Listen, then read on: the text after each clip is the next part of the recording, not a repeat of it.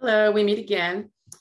Okay, a quick note about the instances where a claimant might find that they're trying to go back to work uh, while they have a pending claim.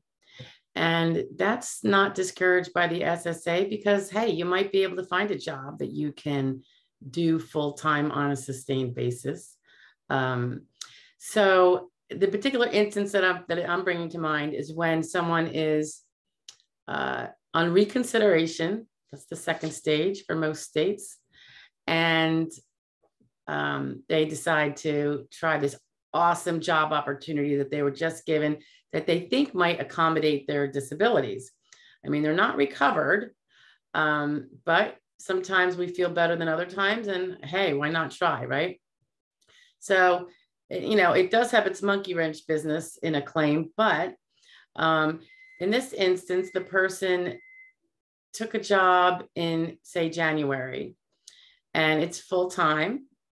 Um, apparently, can accommodate her needs, and it is now what?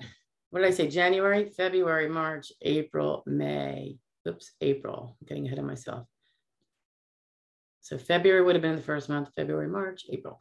Three months in, she gets denied on reconsideration, just on the, you know, their evaluation of her medical. Um, that alone isn't concerning. That's not unusual. Uh, we fight those things all the time. Um, but she is working full time. So when we do the appeal, obviously we have to explain that her activity has changed. She's now working full time and giving it her best attempt. So that was done. And so now she has a pending ALJ hearing. So what's what's the girl to do? Um, in my opinion, what I think is a is a good idea and um, ethical and proper is if the person is attempting to go back to work despite the pending disability um, claim, she doesn't know yet if this is going to be a successful work attempt. We hope and pray it is because I think she really likes the job. Um, so we are letting it roll to see if it becomes sustained. Sustained means six months. She's at, say, the three month mark now. Um, it is waiting for hearing now. And the fact that she's working is noted in her appeal.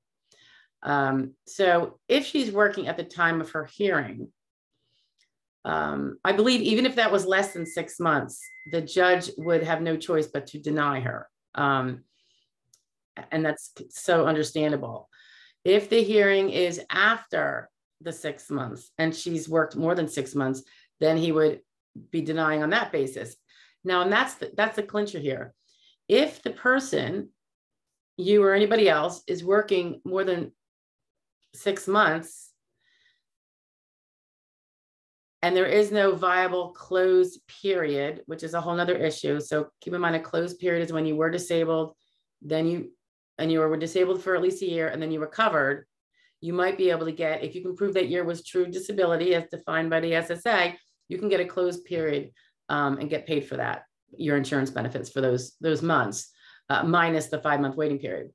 But if you don't think you would have a great shot at a closed period, um, because you never really got the evidence where it needed to be, and that's what was would have been going on now before hearing.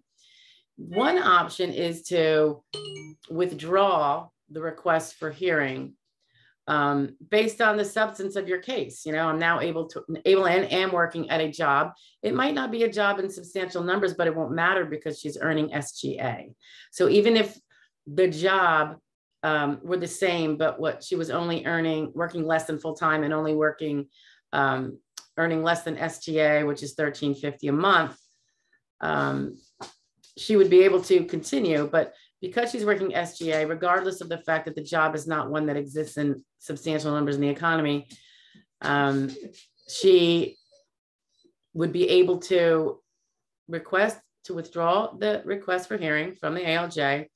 He would likely grant it. I've never seen them not grant it. I would likely give, um, you know, she would give a, a reason such as um, given the status of my evidence, you know, you don't have to be specific. Um, and my current, um, the SGA is, is, is a black and white issue in this case. So currently working SGA on a sustained basis. Um, it's like a, you can't win a case if you're doing that. So um, that is one thing to consider. You don't have to drop a case that you're claiming because you started working full time. Give it a go. It could end up being what we would argue was a failed work attempt. So if she has to quit in a month because the pain is too much or the ramifications otherwise from her disabilities are too much, um, we would still have the case going from the get go. Um, there would be no interruption and she'd have her hearing and she wouldn't be working at that time. So um, anyway, give that some thought. If you ever uh, decide to go to work, you can do it and still keep your case. It has risks and there's a ton of more things to discuss about it, but it's not off the table, despite what some people will say. Okay, take care. Have a good one.